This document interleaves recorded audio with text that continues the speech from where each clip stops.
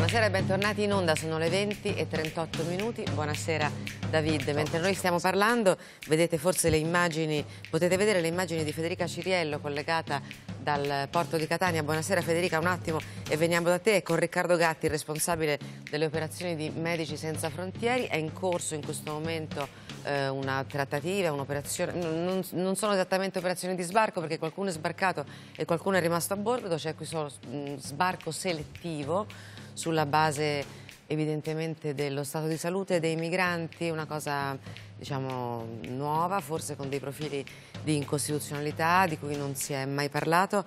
Eh, 144 persone sono sbarcate dalla Humanity One, ma 35 sono rimaste a bordo per capire quali siano i criteri di to see, to no, chi sale, chi scende, chi resta, chi parte. Parleremo con, è collegato con noi, il professor Sabino Cassese. Bentornato professore, grazie di essere di nuovo con noi e, e, in studio Andrea Purgatori, conduttore di Atlantide, Buonasera. presidente e collega Grazie. e Francesco Giubilei, Buonasera. presidente della Fondazione Tatarella e della rivista e associazione culturale Nazione Futura. Un momento e torniamo con voi da Catania, gli sbarchi.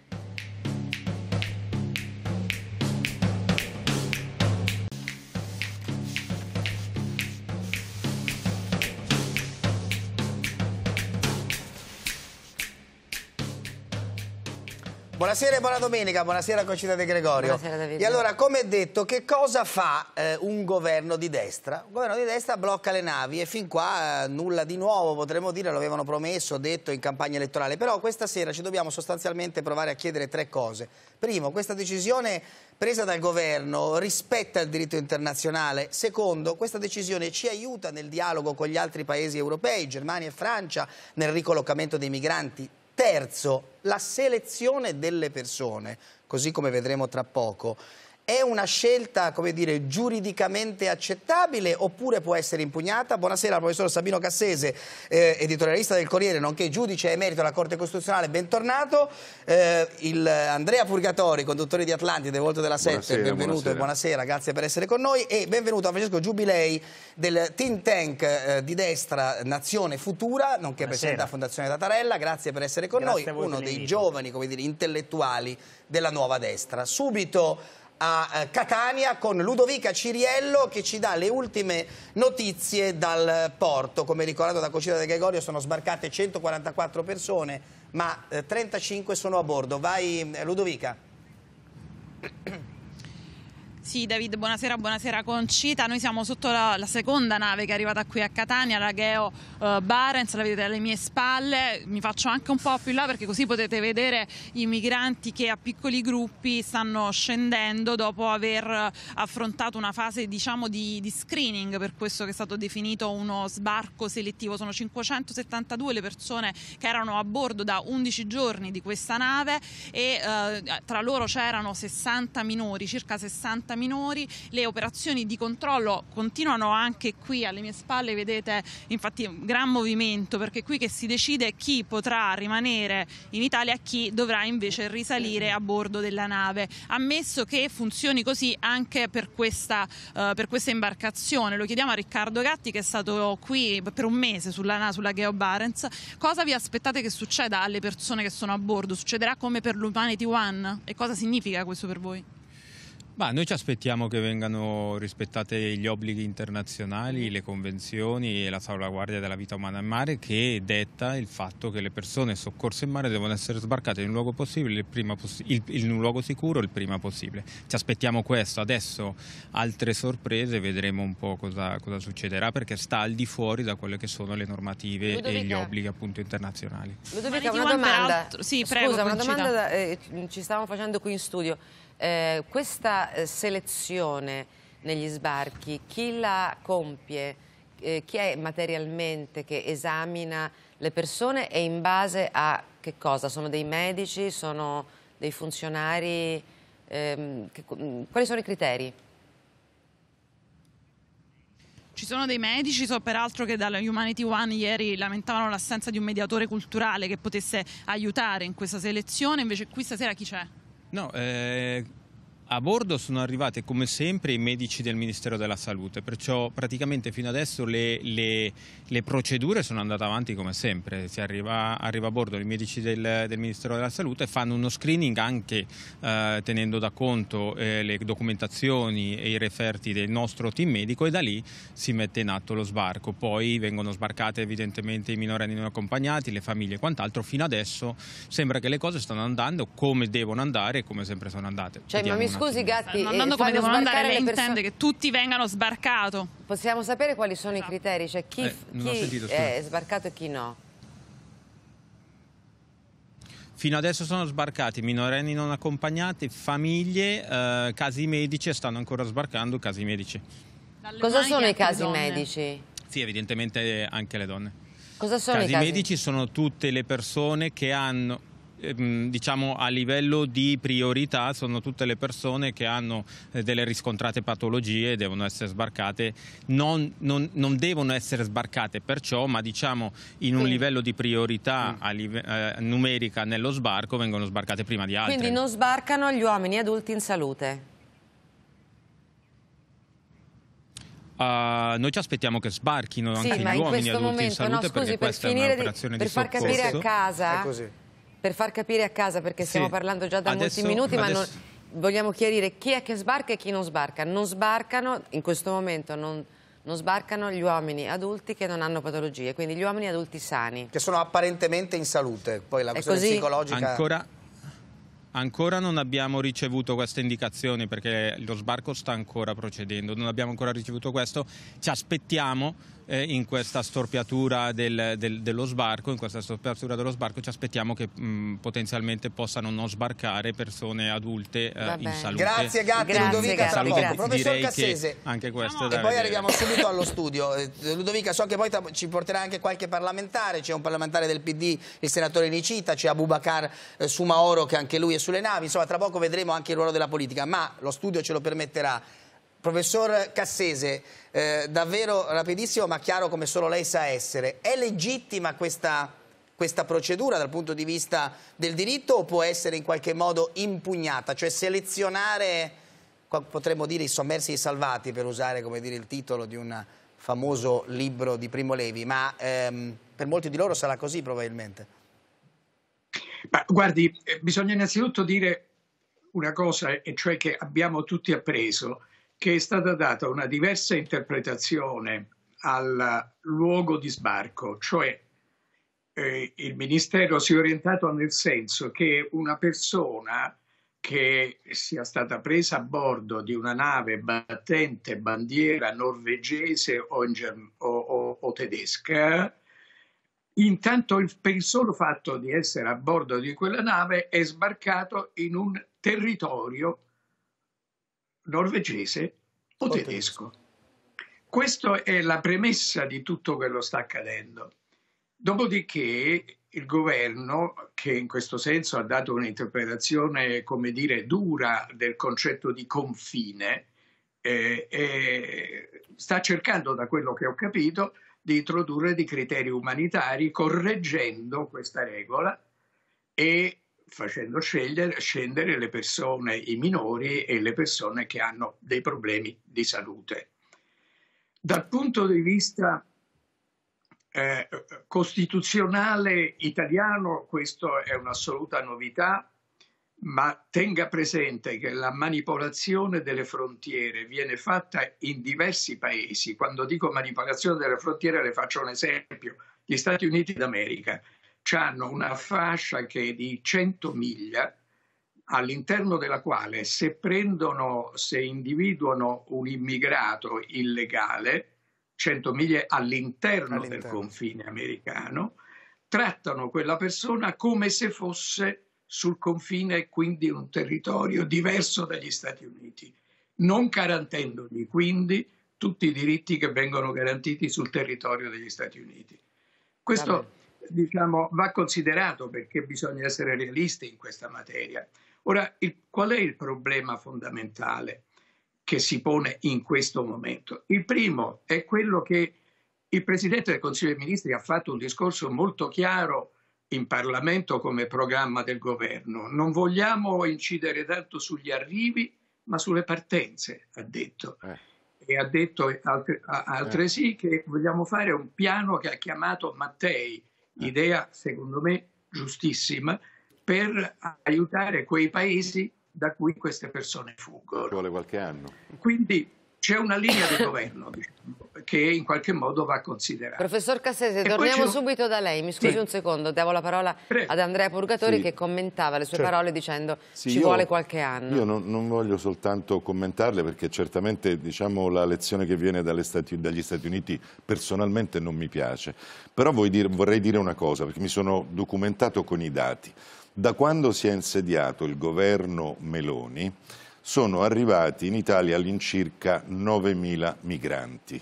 Di questi soltanto, se non sbaglio, 857 sono quelli che sono stati salvati, diciamo, recuperati dalle navi, dalle ONG. Il che cosa vuol dire?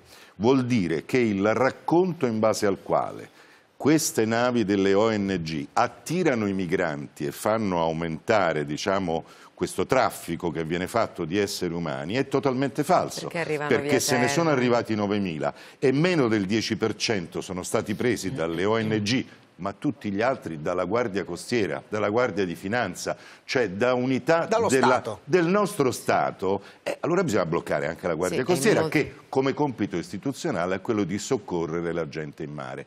Poi un altro dato, e, e, e diciamo, passo la parola a chi altro vuole parlare.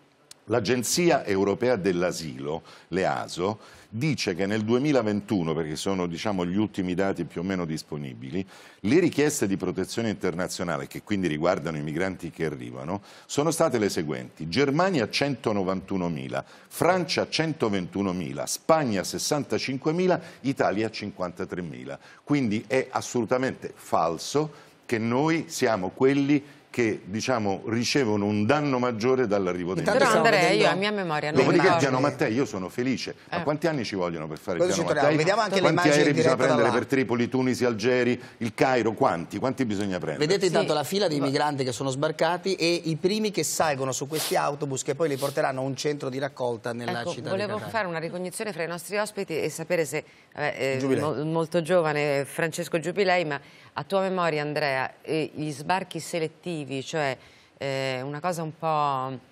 Eh, Tremenda. Non so, ecco, non so, mi, mi, vengono, mi, vengono, in mente soltanto sì. degli esempi terrificanti sì, nella storia, nella memoria. Non 3.005 a bordo, ne rimangono 35. È la prima volta cioè, che accade in questo i paese hanno, questo. sono salvi per miracolo, vogliamo dircelo, perché comunque Beh, diciamo il canale cioè, di Sicilia cioè è arrivi, un cimitero dove ormai siamo credo a 30.000 e passa morti. tocchi terra, finalmente tocchi terra, sbarchi. Sì, se ne vanno gli altri e te rimani lì. Sentiamo Giubilei rimani lì senza nessuna idea di dove andrai a Peraltro, finire. Peraltro c'è un, un, tweet di Viktor Orban che si complimenta di poche ore fa, si complimenta con Giorgia Meloni per aver, forse lo possiamo vedere in inglese ma ve lo traduciamo al volo finalmente, Beh. grandi complimenti a Giorgia Meloni, mette la foto mette del grazie dottor... Giorgia in italiano però. Sì. Alla fine sì, l'hashtag è quello, il nuovo governo sostanzialmente ehm, protegge i confini d'Europa, dice. Anche il Papa ha detto la sua. Eh? Protegge i confini d'Europa. Sì, io partirei proprio dalle parole del pontefice. Il pontefice che cosa Pensavo ha detto? Orto.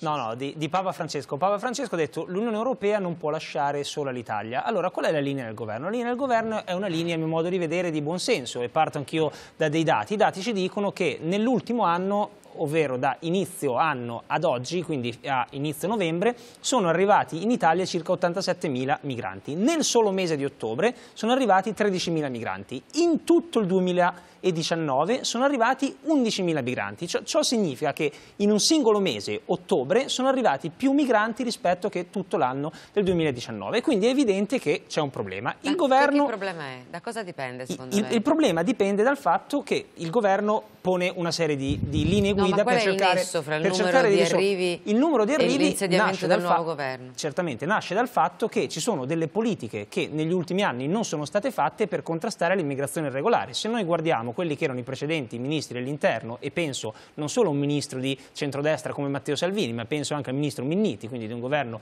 di centrosinistra, erano state messe in atto una serie di misure per cercare di diminuire gli arrivi degli immigrati irregolari. Perché per esempio non, dare non si sta, le motovedette ai libici si, che le usavano per sparare contro i migranti e facevano a mezzi, cercare, beh, a mezzi con, esempio, con quelli fare, che mettevano i no, migranti cercare di fare degli accordi con quelli che sono i paesi nordafricani, eh, a partire per esempio certo. dalla Tunisia, perché Benissimo. la Tunisia è un paese... Sono quelli però i regimi paese, dei paesi nordafricani. Quella è la Libia, ma c'è la Tunisia che è un paese in cui c'è un governo stabile e arrivano, sì, quotidianamente, arrivano quotidianamente dei migranti dalla Tunisia, quindi il governo cosa dice? Dice dobbiamo intervenire in due modi. Il primo modo è cercare di fare in modo che le partenze diminuiscano, quindi intervenire a monte. In Africa ci vuole senza dubbio, come veniva detto poco fa, del tempo. Il secondo modo è invece dire nel momento in cui ci sono degli immigrati irregolari che si trovano all'interno del mare Mediterraneo, su dell'ONG, devono arrivare secondo il diritto internazionale nel primo porto, ovvero nel porto sicuro. Se il primo porto è quello italiano, poi ci sarebbe sarebbe anche Malta, però Malta che cosa fa? Rifiuta tutte le volte no, Malta in proporzione prende più migranti prende. di noi. Però rifiuta molto spesso le navi che si trovano prende più, più migranti di sì, noi Sì, però molto spesso le navi si trovano più Malta vicino ai porti di Malta rispetto ai porti italiani e Malta dice no, non potete venire qua, andate in Italia. Allora Benissimo. la Guardia Costiera Arri però nel momento in cui arrivano in Italia il, il, governo dice ridistribuiamo i migranti e mi ricollego alle parole di Papa Francesco, ovvero facciamo in modo che l'Unione Europea ci aiuti ecco, nel ridistribuire quelli migranti. Però, scusi, mi scusi, eh. Sì. Scusa, no, no, sì. Sì, si possono anche ridistribuire dopo, ma intanto bisogna farli scendere dalle navi. Bisogna Poi farle... dopo si fa un piano Mattei. Bisogna, fa... no, che... bisogna farli arrivare. In bisogna farli arrivare nei nostri sì. porti, però se c'è un ONG che ha la bandiera tedesca o la bandiera norvegese, se ne deve far carico lo no, Stato di cui... No, il diritto internazionale... Il diritto internazionale dice che possono mm. arrivare al, al, porto italiano, che è il porto sicuro. Nel momento in cui però sbarcano devono Bene, andare o in Germania o in Norvegia. Quindi vede che mi dà ragione, intanto devono sbarcare. No, ma questi dati... Torniamo un attimo a Catania, poi Purgatori, subito torniamo a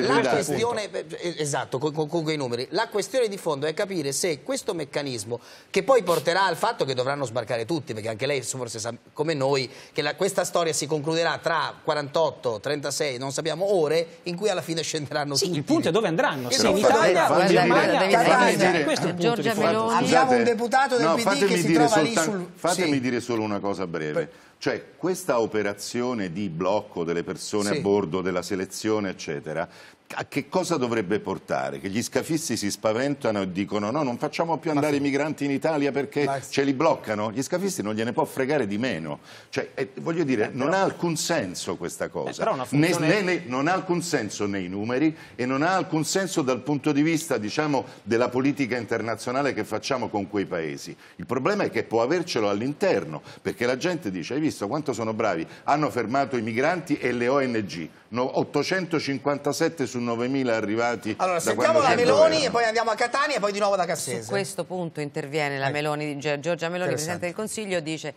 commenta le parole del Papa genericamente, grande attenzione, ringraziamento sentito, eccetera, ma in particolare per l'incoraggiamento soprattutto eh, e per l'invito rivolto alla concordia nazionale e internazionale. Le grandi sfide che abbiamo davanti non si possono vincere se non unendo gli sforzi di tutti gli uomini e donne di buona volontà, cioè mette l'attenzione Meloni al tema della comunità internazionale.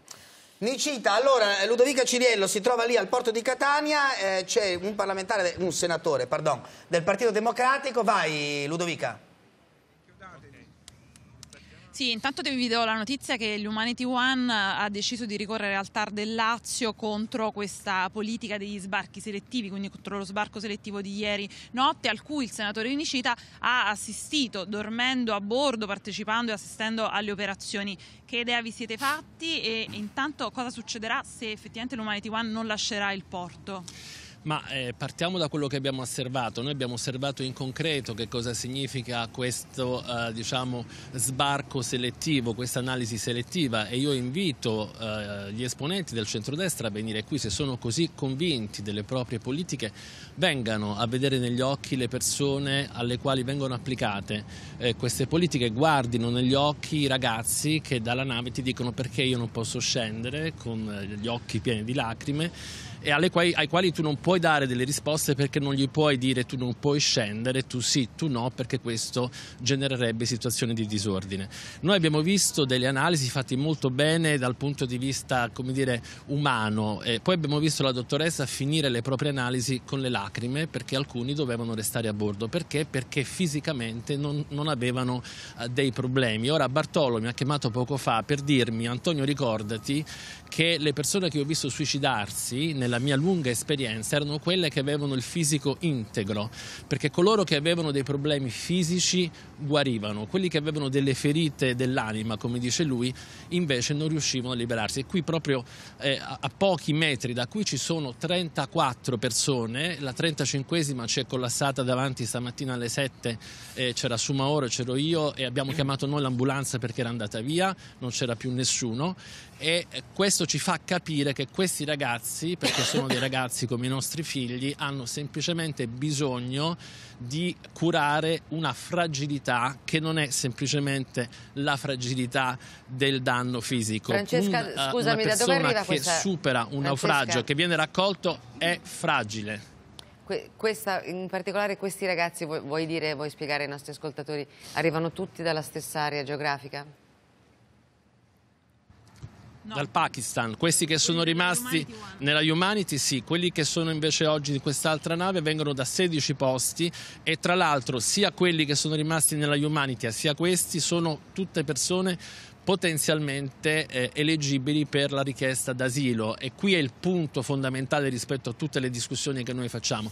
Noi stiamo applicando questa innovazione che secondo noi è totalmente contraria al diritto internazionale, per questa idea selettiva che peraltro è vietata proprio da quella sentenza IRSI che cita il Ministro dell'Interno, e però la provenienza esattamente da luoghi che meritano l'eleggibilità per, per la, richiesta di asilo. Quindi Perché siamo veramente in un paradosso dire? in cui sempre sembra sono arrivano? il Bangladesh, sono la Siria, sono l'Eritrea. Questi, queste, queste persone qui sono, ma sono che, anche... Ma guardi che qua non c'entra tanto il diritto internazionale quanto la, il rispetto dei diritti umani elementari. Cioè stiamo parlando di 34 persone che vengono da un paese come il Pakistan, dove io inviterei chi ha deciso il blocco di queste navi a farsi una gita per capire che cos'è e da altri 16 paesi dove c'è guerra, dittature, siccità. In molti casi dove noi siamo corresponsabili di quello che accade. Allora, allora fare politica su 34 povere persone che devono rimanere su una nave, secondo me porre, è Volevo porre una questione ecco. prima di tornare al professor sì. Cassesi, Andrea. Molti in queste ore hanno fatto un paragone con quello che accadeva a Ellis Island nel secolo scorso quando arrivavano le navi degli immigrati e non tutti potevano, cioè potevano si scendeva e poi c'era una eh, selezione. Ehm, in che cosa ti convince, in che cosa no questo paragone con eh, il, il tempo in cui gli italiani, gli europei arrivavano in America dovevano essere beh, accolti o non accolti? Beh, intanto a Ellis Island arrivarono milioni di persone che hanno costruito gli Stati Uniti perché grazie anche a quelle persone e a centinaia di migliaia di italiani che poi gli Stati Uniti sono diventati quello che sono. Ma eh, io personalmente sono contro ogni tipo di selezione, cioè io ne faccio una questione, come dicevo poco fa, di rispetto dei diritti umani elementari, cioè non credo che decidere che si fa scendere una, una donna con un bambino e si lascia a bordo un ragazzino di 18 anni che magari viene da un paese in guerra e lo si lascia a bordo senza alcun tipo Dice di speranza. Dice proprio il criterio che... Sì, ma poi io vorrei dire, scusate, allora, torno al dato di prima, 9.000 migranti arrivati da quando c'è il governo Meloni a oggi. Se non fossero stati salvati dalla nostra Guardia Costiera e dalla, dalle ONG per meno del 10%, molto probabilmente la metà, la metà di queste 9.000 persone sarebbero morte in mare. Cassese, cioè noi vogliamo sì, questo, io non lo so, voglio lei, capirlo. Solo con un no, punto però, perché eh, c'è un ricorso, perché questa è una questione ci se lo spiega molto rapidamente. Adesso la nave, da, la nave, annuncia un ricorso al TAR del Lazio contro la decisione del governo, ma eh, è, è, piuttosto incredibile che adesso passeranno appunto dei giorni probabilmente no? in questa situazione di limbo sostanzialmente.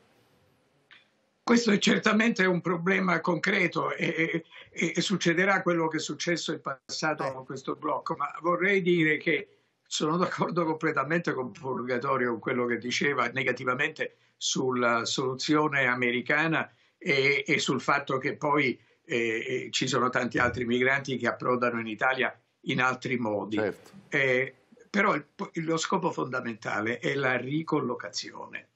E la cosa fondamentale è che fare un braccio di ferro e fare la voce urlare eh, non consente la ricollocazione, eh, perché noi abbiamo avuto un tentativo nel 2015, un altro nel 2020 e una proposta francese a cui hanno aderito 18 paesi nel maggio o giugno di quest'anno. Quindi lei dice non serve per ricollocarli questa mossa, questo lei professore non ci sta utile. dicendo, non è utile. E, e, se lei vuole mettersi d'accordo con altri paesi, secondo lei vale la pena di fargli guerra o, o mettersi intorno a un tavolo e cercare questo diciamo è un principio generale che vale anche allora, su altri scenari. Allora, Francesco Giubilei stavi Sì, no, volevo fare un collegamento rispetto a quanto veniva detto, eh, ovvero il parallelismo tra quella che era la situazione degli italiani che emigravano eh, decenni fa o secoli fa eh, negli Stati Uniti, ma comunque in generale in America, rispetto a quella che è la situazione degli attuali migranti. E lo dico da figlio di una madre venezuelana eh, emigrata e nata in Venezuela da nonni eh, che erano italiani, quindi conosco bene la situazione degli immigrati italiani in quegli anni. È una situazione totalmente diversa, perché il nostro paese, al netto di quello che magari si vuole far emergere in questi frangenti, è un paese solidale, è un paese che ha sempre aiutato le persone che entrano nei confini italiani, è un paese che ha accolto milioni di stranieri ed è un paese in cui c'è una forte solidarietà nei confronti degli stranieri. Però c'è un distinguo tra chi entra regolarmente nel nostro paese e tra quella che è un'immigrazione irregolare, perché nel momento in cui noi mettiamo sullo stesso piano un irregolare e una persona che entra regolarmente in Italia, non stiamo neanche aiutando quegli immigrati che arrivano nel nostro paese, si integrano, pagano le tasse, rispettano quelle che sono le nostre leggi. Il vero punto della questione è questo, non è una contrarietà, la, la destra, il centrodestra non hanno contrario tu cura all'immigrazione, semplicemente no, No, semplicemente dice chi entra nel nostro paese regolarmente e rispetta quelle che sono le nostre leggi, rispetta quella che è la nostra Miloni storia, è il benvenuto. Etnica, eh? No, è il usò chi in una fase di campagna elettorale la parola di sostituzione chi entra in, Ita chi entra in Italia regolarmente, quella che può essere una manodopera qualificata... Ma lei è stato a Lampedusa?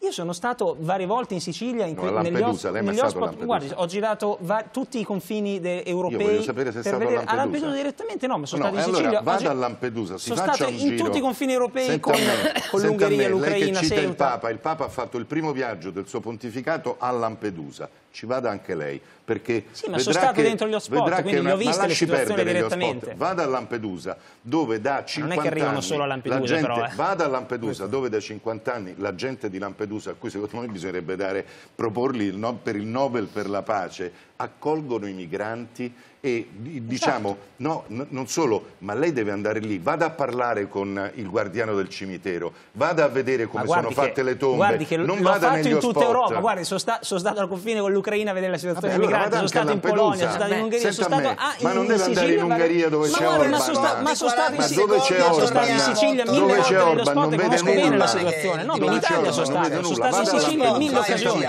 Le ho dato due o tre indicazioni.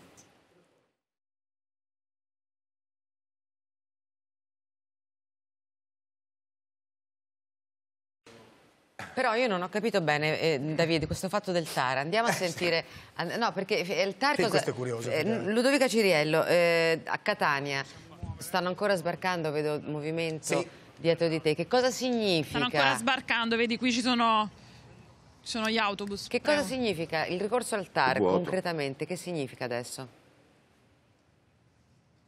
Significa che loro non si muovono dal porto e che aspettano di far sbarcare anche le ultime 34 persone. Quindi fino a che non ci sarà la sentenza del tribunale oggi. amministrativo, quelle persone rimarranno sulla nave e la nave Rimarrà, rimarrà Contano di rimanere qui. È così professore? E, Un e chiedono insieme con alcuni è così, professore? Quindi rimangono lì fino a quando, cioè diciamo, il capitano della nave non lascia il porto, perché ha detto non eseguo l'ordine di lasciare il porto, rimango qui. Si aspetta la sentenza del TAR a questo punto, corretto professore? Perché si aspetta un'ordinanza cautelare che si spera possa arrivare anche nel giro di qualche ora o di, qualche, o di un giorno o due giorni. Vabbè. E poi E niente, un'ordinanza cautelare. Eh, e allora, poi si vedrà. Ne riparleremo senz'altro perché questo è il grande tema. Grazie ad Andrea Purgatori, grazie, grazie a, a, Francesco Giubilei. I, gli sbarchi selettivi ci lasciano francamente davvero, davvero una questione sì. di umanità e non tanto di diritto. Mm, secondo me su questo torneremo ancora la Sicuro. prossima settimana. Noi ci rivediamo qui insieme a voi sabato prossimo. Dopo di noi Giletti non è l'arena, eh, crediamo che continuerà a raccontarvi quello che accade. Chiudiamo allora direi con le immagini dal porto di Catania. Grazie a tutti.